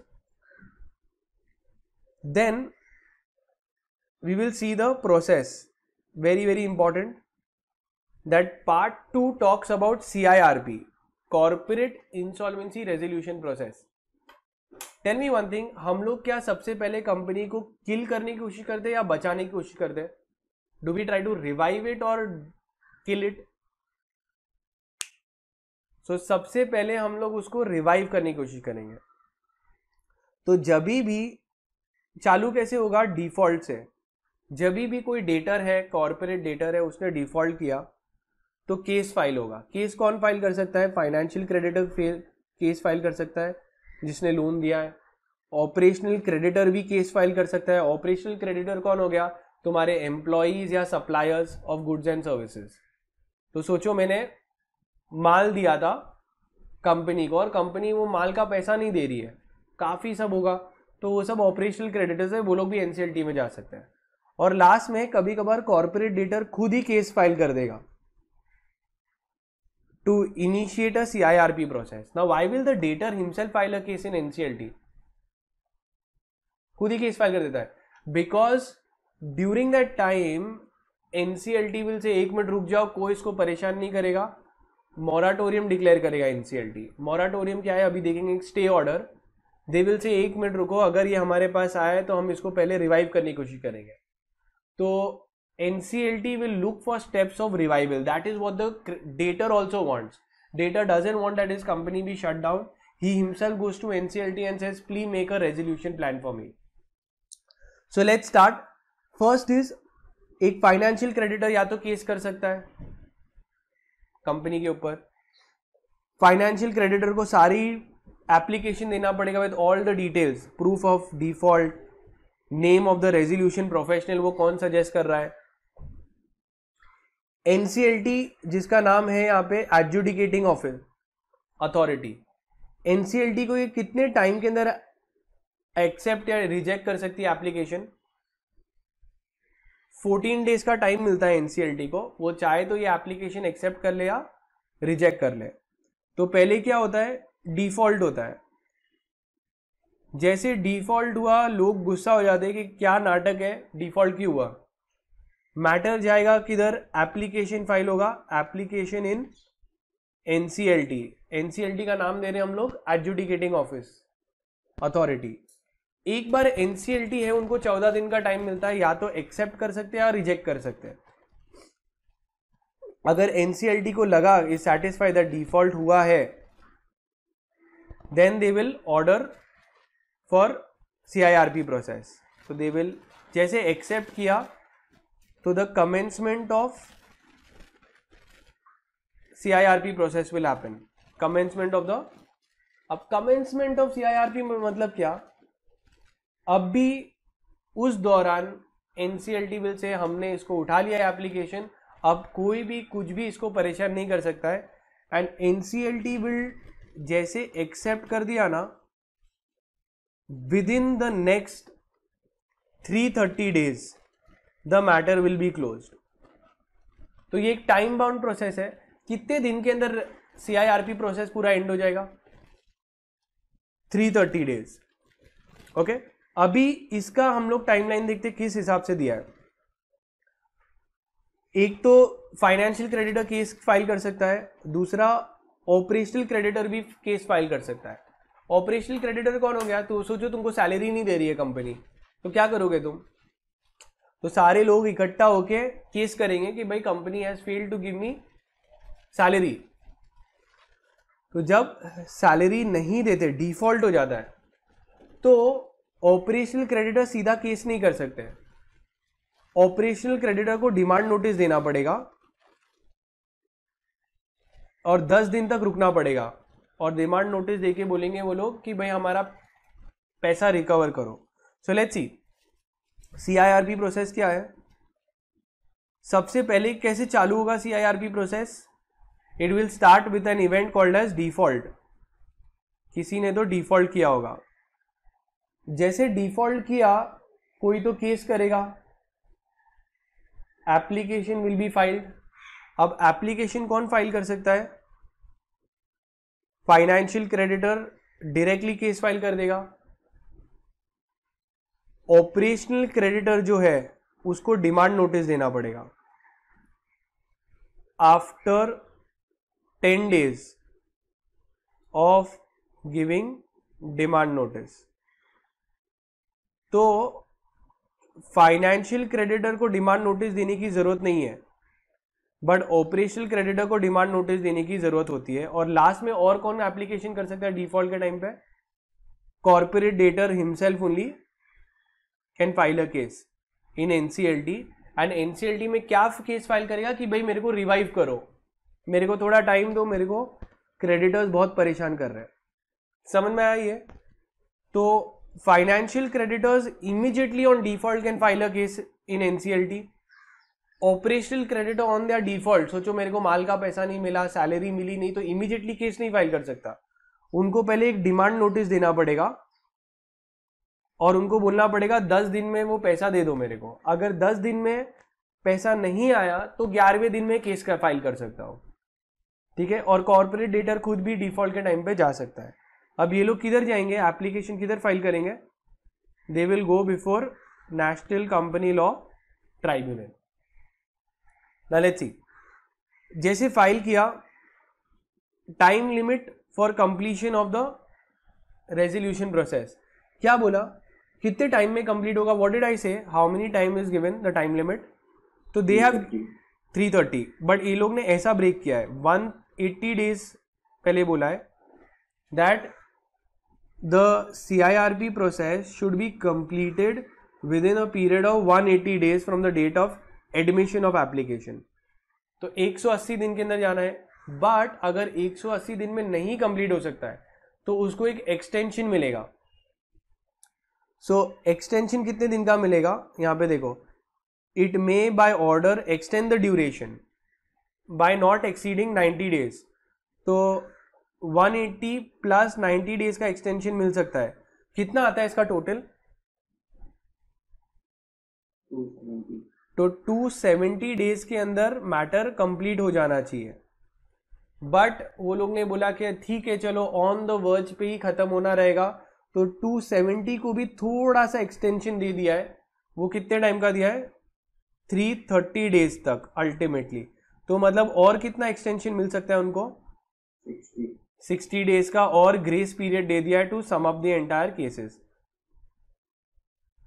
so understood तो ओरिजिनली 180 डेज़ में कंप्लीट करने का बट अगर 180 डेज़ में नहीं कंप्लीट कर सके तो 90 डेज़ का और एक्सटेंशन ले सकते हो। अगर वो भी नहीं हुआ तो उनको फिर लास्ट में बोलेगा बस खत्म ही होने वाला है और 60 दिन का मुझे दे दो। टोटल 330 डेज़ के बियॉन्ड जा ही नहीं सकता है। अगर गया तो बोलेंगे, बंद कर दो कंपनी वाइंड अप कर दो। इतना क्या टाइम लग रहा है? क्लियर इतना if at any time the party who has file the case wants to withdraw the application then 90% of the voting will have to be given by the creditors that they want to withdraw their application. Now, बहुत ही important चीज़ है, जैसे matter NCLT में गया, सोचो NCLT में गया तो एनसीएलटी करता क्या है? NCLT declares a moratorium moratorium is nothing but a stay order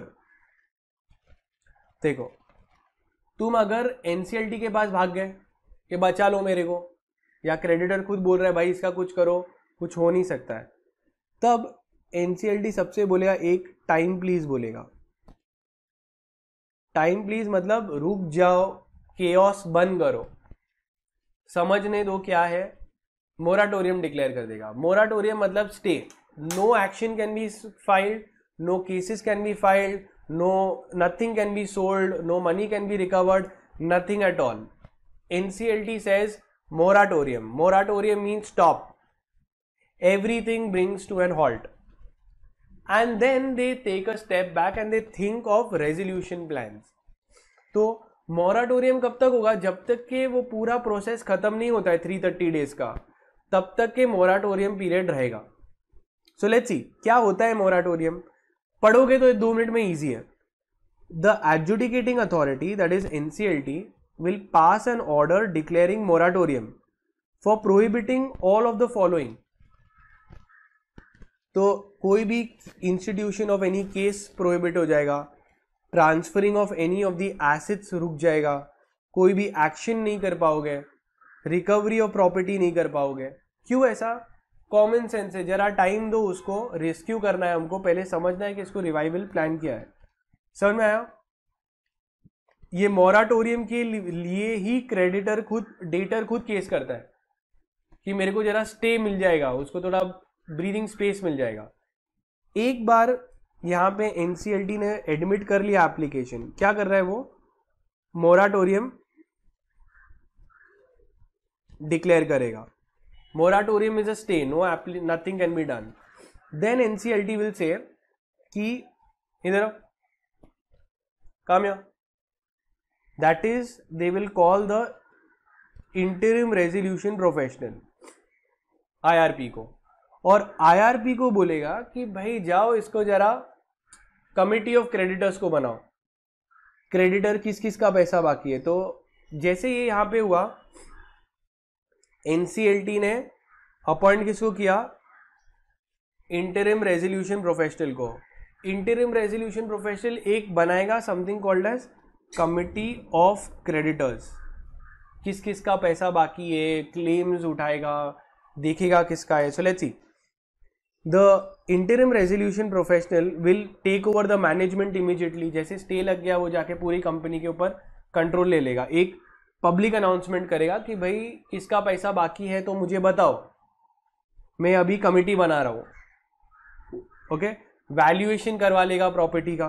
That's all is job then एक बार कमिटी ऑफ़ क्रेडिटर्स को अपॉइंट किया then committee of creditors will then come और जिसका भी पैसा बाकी था, वो लोग सबकी कमिटी बनेगी। अब वो कमिटी ऑफ़ क्रेडिटर्स बोलेंगे कि भाई, आगे क्या करना है? रेजोल्यूशन प्रोफेशनल किसको अपॉइंट करना है? So they will decide who will be the resolution professional if they want and they like the work of the interim guy then they will continue him only और the committee of creditors can appoint a new professional interim resolution professional फिर वो interim resolution professional will this committee of creditors will make the resolution professional let's see committee of creditors committee of creditors will consist of financial creditors जिन लोग ने loan दिया हुआ है financial debt वो दिया है उनको। The committee of creditors will first appoint a resolution professional if they want they can either appoint the I R P only as the R P और another R P of their choice जो भी decision होंगे it will be taken by sixty six percent votes आगे देखते ये आई R P अब करेगा क्या? Now, this resolution professional will come in and he will make for various solutions. He'll make a resolution plan like a revival plan कैसे तुम लोग का भी स्टडीज़ देख रहे हो? कैसा लग रहा है? डिजास्टर्स लग रहा है? अब एक बार तुम शांति से मोराटोरियम डिक्लेयर करो। मोराटोरियम मतलब स्टे ऑर्डर सब कुछ रोक दो। थॉट्स वॉट सब कुछ रोक दो। फिर बाद में एक प्लान बनाओ।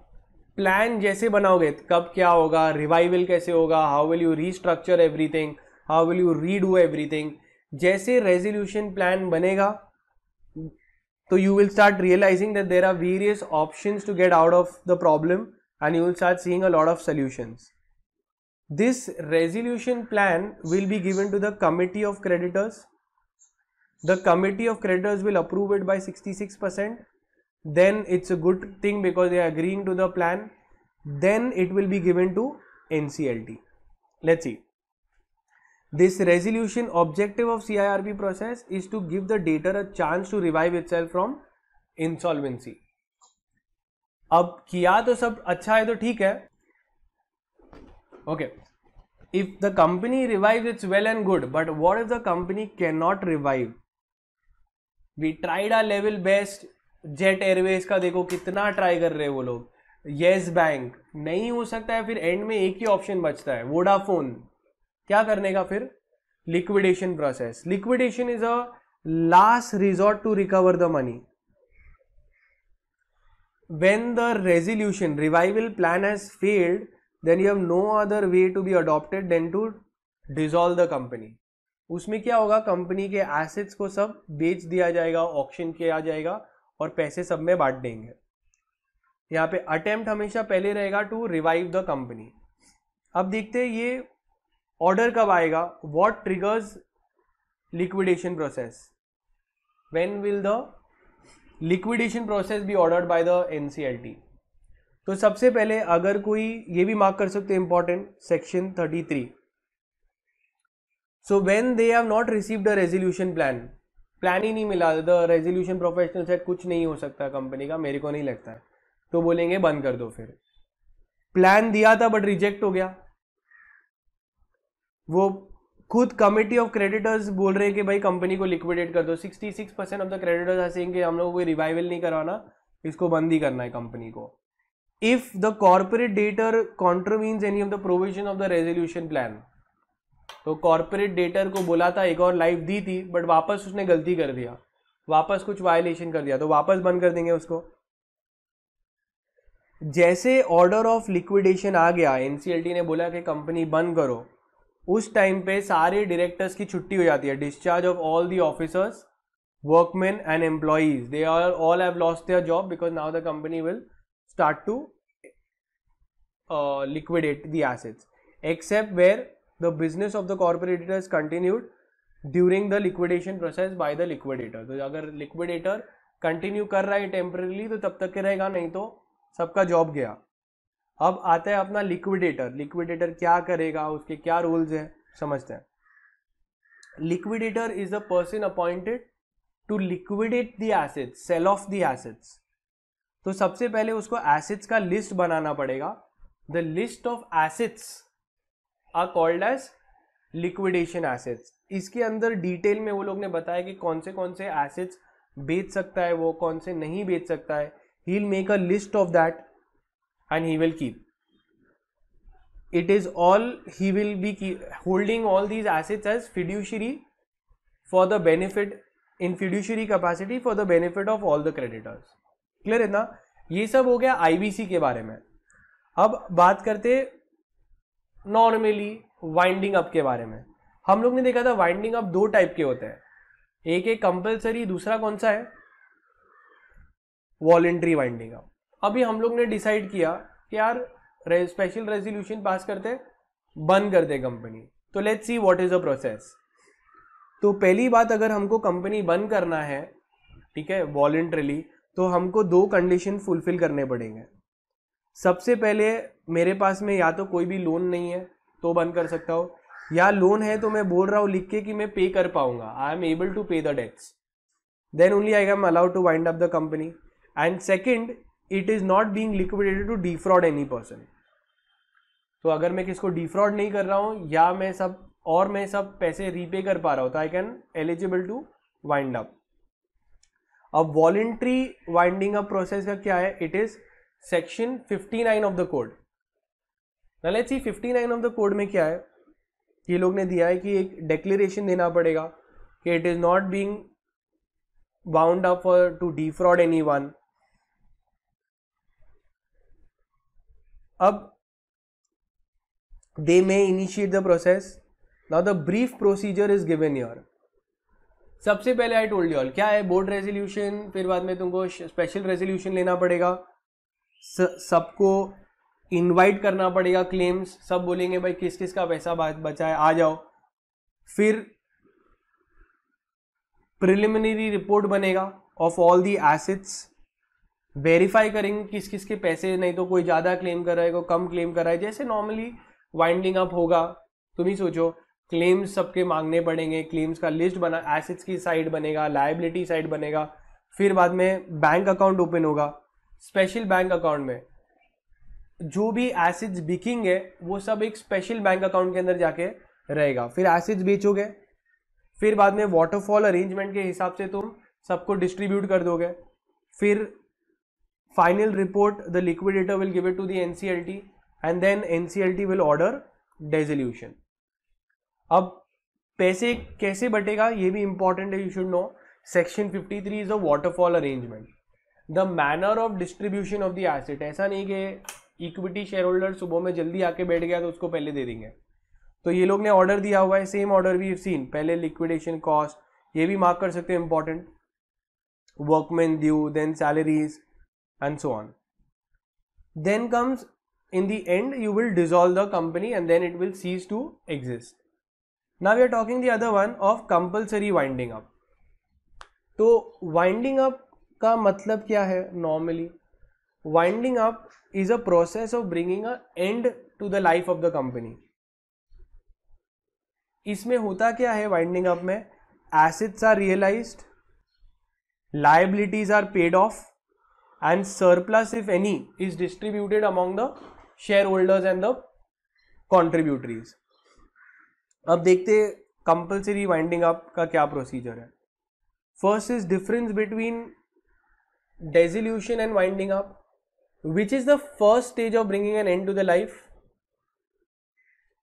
winding up and which is the last stage of the end after which the company dies that is dissolution winding up कौन करता है it is done by liquidator and dissolution कौन करता है NCLT creditors can make their claims during winding up क्योंकि company अभी भी सब क्लेम्स कर रहे हैं पब्लिकेशन वो सब, बोले मेरा इतना पैसा बाकी है but on dissolution they cannot as the company only will cease to exist winding up need not result in dissolution in all cases. It may be amalgamated. तो कभी कभार हो सकता है कि कंपनी वाइंड अप हो गई और उसके बदले में एक नई कंपनी बनी है तो अमेलगेमेशन में हो सकता है now we are very very very important compulsory winding up and the ground for compulsory winding up कितने पॉइंट्स है? पाँच। When can NCLT order compulsory winding up पहली बात, खुद कंपनी ने बोला special resolution second sovereignty integrity security of India fraudulent matter, default for 5 years in filing returns. Any other just and equitable cause nclt can order winding up. Who can apply it is a company can tell to wind up compulsorily contributories etc then once you file the application then nclt can pass any order either they can accept the application, dismiss it, pass interim orders or any other orders as it deems fit. And then the chapter gets over. That is it.